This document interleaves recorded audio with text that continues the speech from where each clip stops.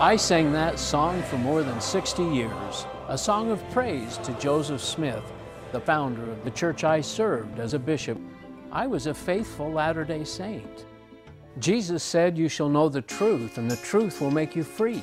I realized that I was following the gospel of Joseph Smith and not the gospel of Jesus Christ. Many others have made a similar journey into an authentic relationship with Jesus. And that's what this show is all about people who want to share their story. So if you're a Latter day Saint seeking a genuine encounter with the Savior, we have a joyful message that we want to share with you. Hello, and welcome to another episode of the Ex Mormon Files. I'm your host, Bishop Earl, and I appreciate you spending some time with us.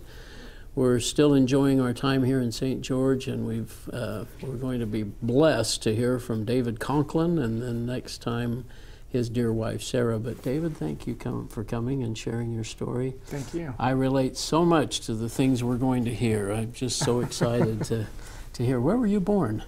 Uh, California. Were you? What So, city? Uh, my dad was in the military, so Yeah. Fort Ord. Oh, down there, Uh, yeah. didn't spend much time there, unfortunately, but Yeah. uh, we moved up to Sacramento, so that's kind of where my That's where you grew up. yeah, and, that's right. and Yep. were they LDS, your family? Absolutely. Yeah. Yep. Oh, yeah. yeah. So second generation. Um, I'm a second generation. My Yeah. uh, dad and, and my grandfather kind of joined. My, my grandfather had a friend at work that shared a book with him, and it wasn't the Book of Mormon, but it was another one. They kind of talked back and forth, and they uh, joined the church. And my mom had in high school, she was part of a, a madrigal singing group, and they did a little tour to Salt Lake, and and uh, she tells a story about standing in front of the Christus and just really feeling Yeah. spirit and learning about it. And uh, so she wanted to join, and my grandpa said, not unless we learn about it first, and they all joined together. So Wow. So that we're, must have been quite the experience. huh? Yeah. So you were very, your family is very into the church then, and you were raised. And how many brothers and sisters do you have? And, So I'm second of six. So I Oh, have one older brother and one younger brother, and then three younger sisters. and uh, I- you were baptized, I guess, at age eight, and Yep, went through the whole that's right. primary and young man, and all that stuff. Yeah, it was. Uh, we were very. Um, I mean, I, I think we would have. I mean, we were a family. You know, we had whatever regular, uh, you know, kid, kid stuff, yeah, yeah. normal family stuff. But we, you know, the LDS, our LDS experience, church was very important to us. You know, we. Yeah. Um, and, and even more than that, family, I think, was just something really central to us. It was a, um, um, it was something that I felt growing up was very important. Sure. Um, we'd had a couple moves, and uh, you know, I, I remember, and I've even tried to instill this in my kids now that, you know, when you move, you're not going to have your friends. I mean, your friends are your siblings, and so, right. and we're all still really close now. Um, Oh, that's but um, but it really was something very important to my mom and Well, my dad. And they were married in the temple. They too, were, and yeah. They were all sealed, and they were all born in the covenant. born in the covenant, all of us. Okay. Yep. Yeah. All right, so you and probably take seminary and all that stuff in high school. Yeah, you know. I wasn't. I, I did take seminary. I didn't. Uh, I I didn't do all four years. Hmm. I uh, I was involved in sports and other things, but so I don't Yeah. think I did my senior year. But I I did I did go. I wasn't huge on seminary. Yeah, really. No, not not Yeah. not so much. But But, no question that the church was true, right? uh, no, not at all. Yeah. No, um, I had lots of spiritual experiences um, as a child, answers to prayers. Um, I, I I kind of I've, I've, I've said before that you know I was grateful to have you know broken cars, you know like cars that didn't work. Uh, that's where I think my mom taught us how to pray. You know, Dad would get out and Oh. up would go the hood, and we'd all fold our arms and pray. You know, help Dad fix the car. Yeah. I mean, it really was. My faith was very simple as a child. As I, I really did believe that God heard my prayers Yeah. and um, and and answered them. And those are faith promoting in the sense. Did you ever relate that to okay, the church is true? So because of these, then the church is true. You know, I don't know that it was. I, I don't know that I ever really questioned whether the church was true or not. I mean, Oh. when I was younger, Yeah. when I got older, I did. I, I remember I, it wasn't a question. I just wanted to have a confirmation Right. that it was true. Um, but you know, we really didn't focus on. Um, there, there was no hyper focus on knowing if the church was true or not. It just was. Yeah, I mean, it was. I guess. I guess it was just kind of an uh, of an assumption as a family. It was something that you know that we understood, Yeah. And um, you know, we we do family home evenings, but they weren't really family home evenings. I mean, we kind of, they really kind of uh, turned into just gospel conversations. Really? Okay. Yeah, and we would ask my dad all sorts of questions, and um, I can remember really talking about some things that were kind of what I would consider kind of deep doctrines, and Mhm. I, I remember feeling this sense of pride, kind of knowing these things outside Yeah. what I would now consider just the core, basic, simple gospel of Jesus Christ. You know, I, I was learning all these things that were outside of that, and we would. I mean, it was not uncommon for them to go two or three hours of just wow. the older kids around dad, you know, fielding questions. Now, it was did you great. say he was a bishop? Did he did, yeah. He served as a bishop. Okay. It was actually it was after I had left, but he had always been in bishoprics, Okay. and uh, Okay. both of them very very faithful parents. Um, Okay. He works in the temple now, and uh, Wow. Okay. yeah. So still very active. very active. And then yeah. you uh, end up going on a mission after high school. I did. Where'd you go on your mission? Rapid City, South Dakota. Yeah. Yep. And So- uh, how was that? You know, it was a amazing experience. Yeah. Um, it was really, um, I, I liked. I, I- you know, I had an older brother that went to a foreign country Mm. and a younger brother that went to a foreign country, and I was in the U.S. and I think when I got the call, I was trying to be a little bit brave about being excited about it because you know I, I thought you know I wanted to go yeah. But um, you know it was great. I remember my, my, my brother he told me it, the one piece of advice he gave me when, when I left he said um, just follow the rules. He said just follow the rules. If it says being at this time being up at this time up at that time. If it said what just he said just That- follow the rules and the Lord will bless you. Yeah. And I really took that to heart, and I did. I mean, I did. I think I, I know I annoyed a lot of elders, and if any of them are watching this, you know, I, I Forgive me? Yeah, yeah. No, no ill intent uh, in meant. meant. I know this is a leading question, but Yeah. did you sense that you were preaching Jesus or were you preaching the church? Um, that's a really good question. I, I believe that I was. I wanted people to know about Jesus, but Did you? I did, but I, I didn't know Jesus without the church. I, if that's an okay way to say Yeah. it. So really, for me, it was. Jesus beyond Joseph Smith's vision. That's right. That kind of stuff. So really, the church was, to the extent that Jesus was a vehicle to get to God, the church was a vehicle to get to Jesus. And so I, I wanted people to know about him, but in order for that to happen, they had to know about the restoration. They had to know about Sure. covenants and Important ordinances stuff. and right, priesthood and all, all, tho- all those things. So it was important, in my mind, it was important they know about that. Oh, interesting. Yeah. So you come home and, and actually Sarah's waited for you. Is that true? Yeah, we knew each other. Um, so I had just graduated. It was her senior year, and I went to a young single adult dance and saw her there. The, the crazy thing is, we had all the same friends, but we had never seen each other prior to that one night after and again, dance. let me back up. Where was this at? It was in Portland, Oregon. This was in Portland. Yes, okay. yeah. And so, uh, so yeah, we started dating. Um, she actually filled out my mission papers for me, typed Oh. them, typed them for me, um, and uh, yeah, and we wrote. We wrote for two years, and she was she went to uh, Ricks, and Okay. I, I told her I, I really encouraged her to date, Yeah. and uh, she really took that to heart. She dated a lot, but I, I just Well, knew she, that. she wanted to follow you. That's exactly right. No, I. I just, I just, uh, I, I, I knew that uh, if it was going to work out, it was going to work out. And she needed uh, to be sure and stuff. yeah, and it so you out. come home, you get married, Yes. and uh, yep. and then what happens? Yeah, married in the Portland Temple, and um, we, you know, we were young. I mean, it was really short after I got back. You know, that we got engaged and uh, went to school and um, Where'd you go to school? at uh, Lewis and Clark, Lewis um, and Clark. up in Portland, Oregon, Okay. and uh, And after you graduated, you went on to yeah, went went to law school. law school. Yeah, we went out to uh, Omaha, Nebraska, and at, there at Creighton, and we were, you know, we, we loved it. We loved the, the ward we were in there in uh, Portland. We had family close by, but we were far enough away that it felt like our own kind of, Yeah. you know, life. And um, and then there in Omaha, that was really an amazing experience of being a family on our own, really, you know, Yeah. for the first time. And we actually did have a pit stop in Salt Lake uh, before we went to law school. But you know, Yeah. we, we, both Okay. those experiences, we had the opportunity to really grow together as a family, and we served. I was elders quorum president during Oh, uh, law school.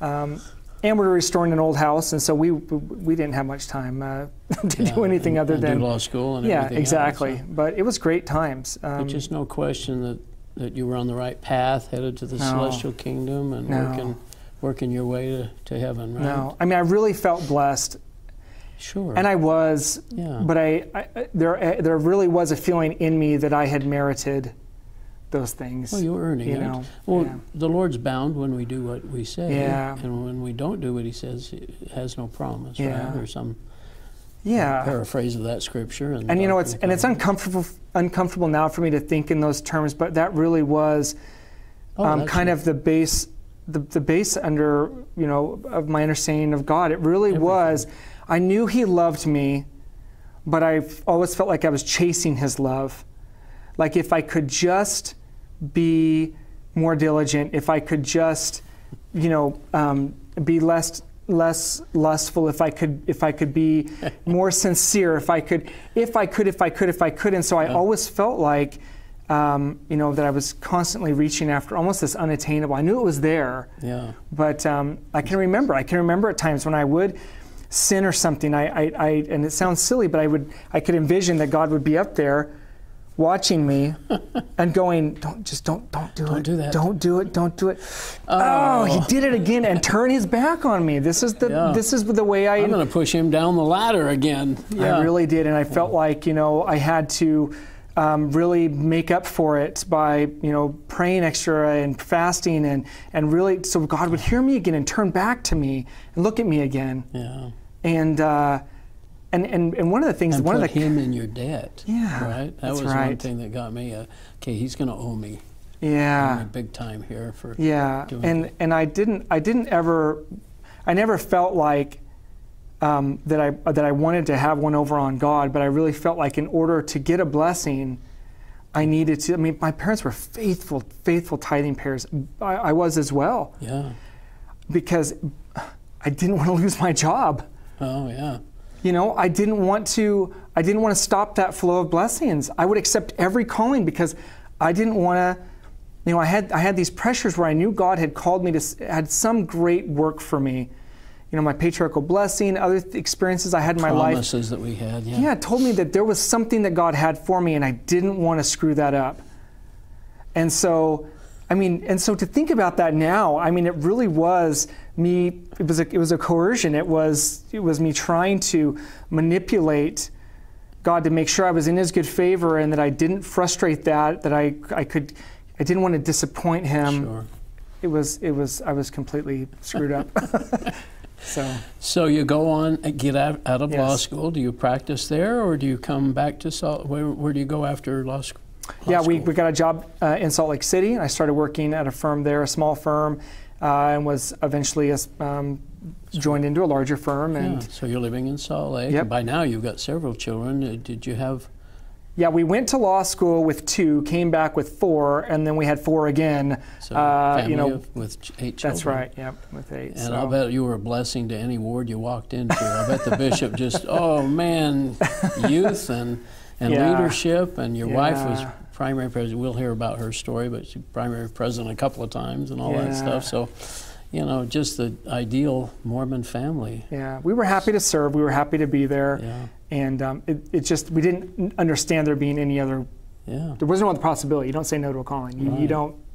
So know. what happens? Yeah, so um, I was serving in the young men's and um, with the priest, loved them, had a great time. Um, and um, actually, prior to that, when I was practicing law, I, I had met this, this one of my clients, this Christian couple um, that I just really have, they've become some of my dearest friends. I, I really love them. But in getting to know them, I had this kind of um, breaking point in my mind where I, I knew how much they loved Jesus. I knew everything they had given in their life for him. They'd express that to you? Yes, well, I could see it in their life. I, I, I, I in, just in our conversations, You just knew. he, he'd answer the phone. He'd say, "Praise the Lord." And every time I'd pick up the phone, he'd say, "Praise the Lord." That's how he answered. He wasn't a, "Hi, this is," you know. he So would you- just say, you knew he I had- knew it was important to them, and and I had conversations with Jesus. them, and uh, and I had this struggle where I knew how sinful I was in my heart, Yeah. and I it, and, it, and I struggled with understanding how it was that I was going to get all the way to the highest degree of the celestial kingdom because of covenants that I had made, which, you know, I, I wasn't great at keeping. You know, I'm sinful. Sure. But I was going to make it, but they weren't because they didn't have a priesthood baptism, priesthood ordinances and covenants. Oh boy. And it really, it really, really impacted you. yeah, it really did. And so I went. I, I, I did the study. I, you know, I, I, I was really making sure that really for sure you had to have that priesthood blessing to get in the celestial kingdom. To the, the baptism. baptism That's to right. That's right. that. To get in the celestial kingdom. And I so I you know I, I read the various sections of the Doctrine and Covenants. I talked to my dad and I said, Dad, is this is this accurate? And he said, Yeah, it is. And uh, and I struggled with it. And I guess I, that was the first point at which I just decided I kind of broke with the party. I decided Allowed yourself to just that little crack. to say, you know what? I guess I just can't imagine that God's that small. And I kind of used some gymnastics in my mind. I kind of said, well, you know, if it is really that important, then it'll just be, you know, a hand wave, or it'll be some. Maybe that's why we have the temples for that situation, or something. something like Yeah. that. I thought if it's really that important, then it's it's going to be pretty simple. Yeah. But that mindset stuck with me and really affected myself for the next year and a half or so. And then one of my young men was involved in a sport, and I he, he kind of had an affinity. We kind of had, you know, he trusted me, and I, I was really looking for a way where I could reach out to him more. And so he was involved in a sport, and I thought, you know what, I'm going to just get involved in this sport. And so I talked to the instructor, and he said, yeah, sure. And so I had met this instructor and started, you know, getting to know him, and and we were training for this competition, and we decided as a group we were going to read the New Testament. We just thought, hey, let's just That's interesting. let's just do this, you know. Yeah. Let's, let's let's read the New Just for the Testament. heck of it, huh? Yeah, just kind of as a team thing. And and at that point there, I had been introduced to Ravi Zacharias, and I had um, listened to the Michael Wilder testimony, you know, and I thought, wow, that's really, you know, I, I thought it was amazing that this guy has this faith promoting experience. And of course, you know, I thought he was wrong because he had left the LDS church, but but I had this new understanding about faith in God, you know, and uh, and so when we got to read the New Testament, I really wanted to have that childlike experience. I wanted to have a reading of it that where I didn't contextual, I didn't put any kind of Mormon filter on it. I didn't want to think, what did Bruce R. McConkie say about this, or what did Tom? I had done a lot of reading. And even just being brought up, all these doctrines, Yeah. and I, I, I had always read, and if something rubbed wrong, in my mind, the Bible lost. It always did. It, Oh, it was always it- second it- place. That's yeah, right. For sure. And so that whole thing about, as far as it's translated correctly, that really was something I relied on to make sense of the Bible where it didn't make sense. And so I didn't want that. And I really prayed to God really, really fervently. I just said, I want to have this. I, I want to I want to have this understanding the way that you had it. And I understood grace for the first time. I read it and I understand. I had this. I had, I started in, in, in the book of John and went to uh, Romans and Galatians and and Oh, I just I understood grace for the first time ever, and it was incredible. It was amazing, and um, Now you'd probably read the book of the Bible before. I hadn't you, the New Testament. Yes. Were you seeing things you'd never seen? oh for sure, yeah. The filter was off. It was off. Bit, huh? It was completely off. Yeah, and uh, and I really remember reading. I'm like, I don't remember this at all. I mean, I it was it seemed so clear, and um, and you know, and I had actually read. In a, I, I had read before in the King James, and I wanted to read in a different version, and I was really skeptical. I really would. I'd read a verse. I'd read a verse. I would to be compare between. James, yeah. I would. I would compare, and I, I settled on the ESV only because I liked how it had the footnotes, and I always found that the words were in the King James where there was any kind of question. So I felt safe with the ESV, but but I just read it with a clarity that God really did open my eyes, and I understood grace for the first time. And I thought, you know what? This is incredible. Restored gospel of Jesus Christ. I'm going to find grace in there. I mean, I'm going to find it. Yeah. And that was really what my motivation was. And so as I started looking for it, um, you know, I don't know how much time we have left, but uh, go ahead, but start. Go into that uh, the 2014 thing. Yeah. So um, you know, as I as I started, you know, reading, and I, I, I wanted to, I wanted to basically prove that the restored gospel of Jesus Christ taught grace. Encompassed grace. Exactly, because I had read, you know, in Second, second Nephi, um, you know, where it's in in a verses, uh, what is it, 25, 23, where Right. it says, you know, we're saved by grace, After all, we- yeah, after all we can do, and and uh, and I, I I I remember when Elder uh, President Uchtdorf gave his talk on grace, which would have been, I, I believe. I in, think that's the 2014. Yeah, that's right, about, in the 2014. Yeah. yeah. So, and and I'd already understood it, and I was in the back room, and Sarah was in the front, and I was watching on the TV, and he and he talked about grace, and and he talked about, you know, after all, what can we do? And I remember yelling. I said, I remember going, Ah, Sarah, did you hear that? Did you hear it? And I ran out to her, and I said, He's teaching. I mean, grace was was such a new concept and such a life-giving concept for me that I was just excited about it, and I was actively trying to find that in the in the, in the restored yeah in the restored gospel of Jesus Christ. And so, um, anyways, that process for me was really I, I started. I said I'm, I'm going to find out. I started looking at quotes and real quick I, I found quotes that were contradictory you know that talked only about grace and only about works and, and i said okay well I, i've got to kind of narrow this in what is considered the doctrine you know, I knew it was the standard works. I said, if it's not in the standard works, it can be an opinion, it can be dismissed. I said, I'm not going to pay attention to the quotes. Right. And I started looking at the, the standard works, and I started finding contradictions. And in scratching the surface of those contradictions and looking, I said, well, you know, when this revelation came out, what was going on at that time? Who was involved? and I started inspiration. That's exactly yeah. right. And I started looking at those things and it started creating more and more questions. I knew, you know, I thought I knew about church history. I would have said that I did, sure. but I didn't. I don't think I really understood um, yeah. understood it. But once I started, things started unraveling, unraveling, and unraveling, and I had to say, okay, restoration at first was, you know. T- temples and ordinances and all these things and then i'm like okay well maybe it's just you know just the Book of Mormon and the truth there. And I'm like, okay, well, maybe it's just, just, just. And finally, I said, well, it's just got to be the priesthood. I mean, that's that's really what it had to be, just the priesthood. You know, I mean, let alone that there were, you know, the three Nephites, you know, three apostles John there, the and John the Baptist. We had four apostles walking the earth that had the or priesthood. John, not John the Baptist, or John. Yeah, John the Revelator. Yeah. Um, you know, he needed Joseph to bring the priesthood, and um, you know, when I and then when I read the book of Hebrews, that was really kind of that, that last moment where I realized that, that when Jesus was on the cross and he said, It is finished, when he said, when he, his works of salvation, his, you know, the, the works of the salvation on the cross, that, that, when, that that really was it. And I, and I, I likened it to, you know, this, I felt like I was in this free fall. I was falling down this, this, this steep cliff and I was just trying to grab onto anything I could. Just to prove the church. To save my faith. Yeah, yeah. I didn't, I didn't hate the church. Mm-hmm. I loved it you know, and um, I, you know, I use the analogy, you know, that um, you know, God knocked Paul off his horse, you know, right. opened his eyes, and um, and I, I, really never. I, mean, I loved my horse. I, I, I loved it. I loved sitting on my horse, and I never wanted to be knocked off of it ever. Yeah. And uh, but but God, in His grace and His love, He did, and He opened my eyes and showed me something that I had no idea was there, and it was hard. It was the most enlightening, freeing, but at the same time terrifying and hurtful, you know, to, to, to realize um, that all these things that I had set my foundation on, that they, they, they weren't they weren't true. They, they didn't they didn't mean anything.